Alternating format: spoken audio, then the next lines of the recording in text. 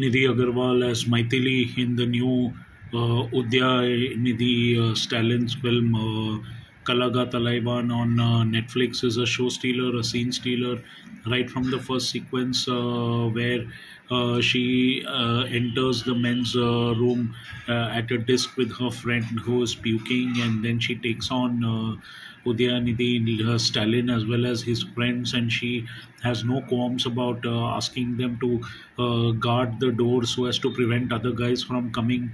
It is uh, Nidhi Agarwal who uh, plays a very different offbeat role, which is a digression from her normal uh, glamorous role. And in this, as a medical um, a student, a doctor, uh, she really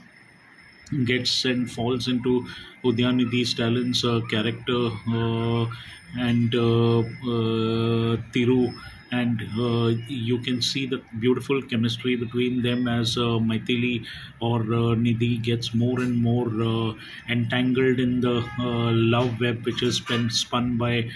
Stalin's character and uh, in this entire sequence it is uh, nidhi agarwal who really steals the show when it is uh, when she goes around her normal life and still thinks of uh, the magic the charm that uh, udhayanidhi Stalin's uh, character has on her and, and uh, she broods and uh, she is reflective.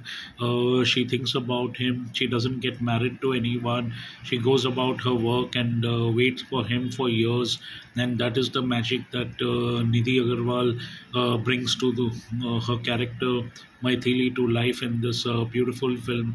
uh, the way in which uh, the romance between the two is shown that particular sequence where Udhayanidhi uh, tells her to freeze and then says that his mind's camera has captured it for posterity uh, amazing uh, work by Nidhi Agarwal in uh, the new Netflix film and looking forward to more such uh, strong character roles by her.